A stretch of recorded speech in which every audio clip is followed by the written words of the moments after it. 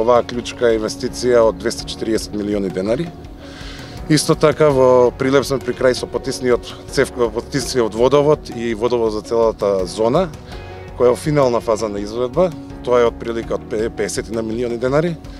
И исто така сме при крај со внатрешната инфраструктура со улицата која што е инвестиција од дополнителни 50 на милиони денари. Така да имаме во инвестиции моментално во зоната од 350 милиони денари. Исто така во другите зони се превршуваат сите инфраструктурни проекти. Во Струга клучката се превршува, се превршува внатрешната инфраструктура, таму го завршивме водовод и канализацијата. Во Кичево се завршува внатрешната инфраструктура. Во Скопје почињаме со изведба на Скопје 2. Во Штип е при крај изведбата од е, Државното предпријатие за улици и патишта на Клучката. Таму ќе почнеме со реализација на терминалот. Во Струмица исто така се реализира терминалот кој е во градба моментално.